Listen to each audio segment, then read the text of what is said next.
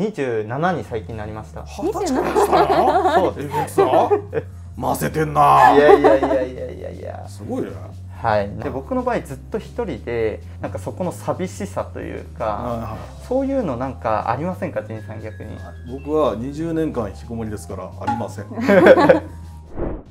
ケンさん次は何になさいますか？次は相場展望でお願いします。相場展望いただきましたありがとうございます。ということでちょっと相場展望なんですけれどもあの正直めちゃくちゃ難しいっていうのが僕の感想なんですけど仁さんどうですか最近のあ相場。私は今年勝ってますよ。基本株で勝ってます。いやーすごいですね。勝ってますよ。勝ってますから。もうジンさんだいぶドル円捕まってませんか？なああんないつもの日常茶飯事です。僕はドル円102円ショートを1年耐えた男なんで余裕です。いや多分普通の人は余裕じゃないですよね。余裕です。スワップ金に100万取られましたけど余裕です。いやー100万スワップではしんどいですね。まあコロナ相場に比べたらこんなへでもないですよ。あーでもなんか最近この去年の11月ぐらいからで見ると、はい。僕割とその新興銘柄とか日本株だと触るんですよ。中古型。ほう。でそれが50%落ちたんですよ。11月から、指数が50%落ちてるんで。ほう。なんでマザーズ？マザーズですね、はいなので今ナスダックとかだと20%落ちぐらいだったと思うんですけど、その倍以上落ちてたんで、はいそれが本当にきつくては正直全然わかんないっていうのがい。は今の感想なんですけどい、うん、ただなんかちょっと注意したいなっていうのが結構その円安が足元でめちゃくちゃ進んでるじゃないですか。はい、なんでそこに対しての対策みたいなのはしといた方がいいかなっていうふうに思ってまして、はい。対策はい。そうですね。なんで米株とか買ったりとかあと積み立てやったりとかっていうのはしているんで。もう遅いでしょ。まあまあまあだでもまあでももともとずっとやってたんですあなるほど、うんはい、やってたんでまだ良かったんですけど。いつもと違うような相場だなって本当に感じますね。はい、なるほど。マザーズ知ってる？知ってます。あのお母さんの株のことだよ、違う違う。知ってますはい、はい、マザーズはでもね僕個人的な意見なんですけど、はい。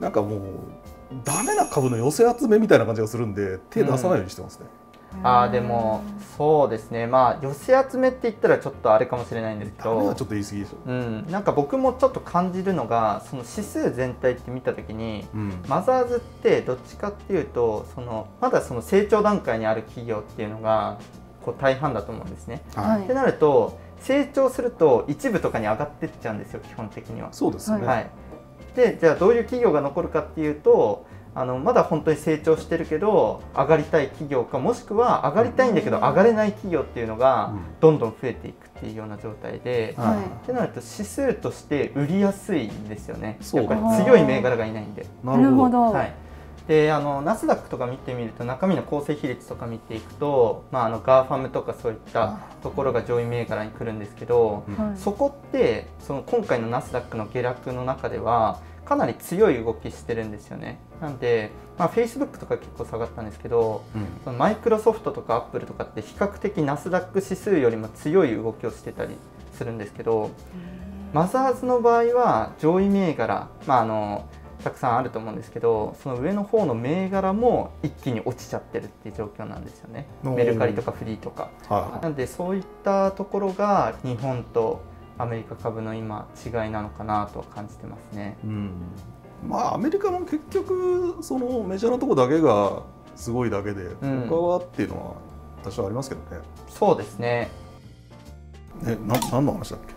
展望？展望。あそうですね。は展望いの展望です。その、まあ、全体相場の展望ってところで言うと、まあ、難しいなって思うのが、まあ、正直予想できないっていうところなんですけどただあの個別で言うとあの意外と変えるところもあるんじゃないかなって。教えてよ。ジンさん来ましたね。いや銘柄はちょっと言えない働いてる価値がある。よはい。いやセクター教えてセクター。あなるほど。やっぱり小型グロースですね。僕が持ってるのは、なんグでマザーズなんですよ実は。はい。でなんでかっていうとさっきお話ししたようにそのはい。マザーズの上位の構成銘柄って弱いんで売られやすいんで、指数自体としてめちゃくちゃ売られてっていう状況だったと思うんですけどそこって選別されてないんですよね全然。ほう。はい。なんでどの株も売ろうっていう感じだったと思うんですよこれまでは。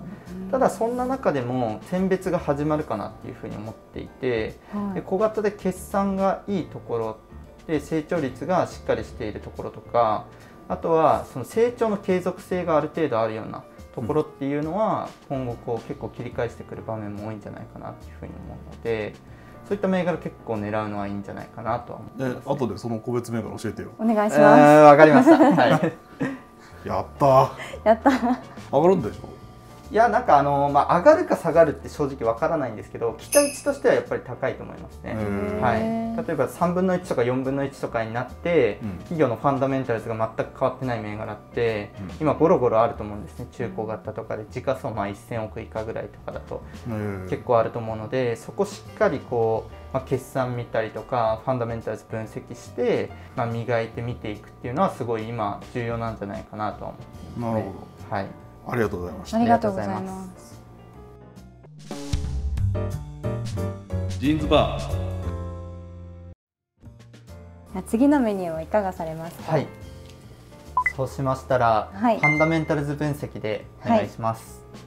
はいファンダメンタル分析入りましたあありがとうございます。りがとうございますはい、ということでファンダメンタルズ分析というところなんですが僕基本的にその中長期の投資をしてましてそうするとやっぱりその業績面とかその世の中どう変化していくのかみたいなの結構重要かなっていうふうに思ってるんですね。はい。で今回のそのウクライナ情勢とかあとこのインフレ何十年ぶりぶりっていうインフレを受けてですねはい。やっぱり大きな変化が起こるんじゃないかなっていうふうに思っていましてほとんどの投資家がこのインフレって多分この何十年ぶりってインフレは経験してないと思うんですよ。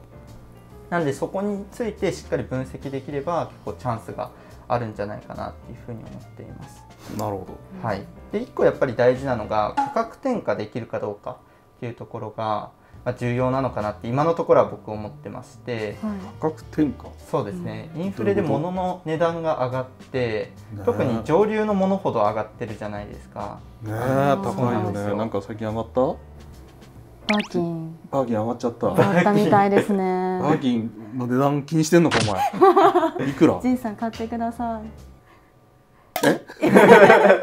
おねだりが、はいまあ、時計とかいろいろその他ものもの上がってると思うんですけど、あと最近だとなんかコンビニが10%前後いろんなもの値上げするとかうん。あのスタバも上がるって。あそうなんですね、50円上げとか言ってたよね。てましたね。結構いろいろ上がってるじゃないですか、はい。ただこのあの価格転嫁できるかどうかまあそのじゃあ原材料10%上がりましたってところで同じく10%もしくは20%とか上げれちゃう企業って中にはあると思うんですねでそういったところをこうしっかり見極めるのが重要だというふうに思ってましてうんっていうのもその価格の部分とかその原材料の部分っていうのは割と外部的な要因になってくると思うのでうんその今までの決算書とか見ただけじゃはい。あんまりわからないと思うんですよ。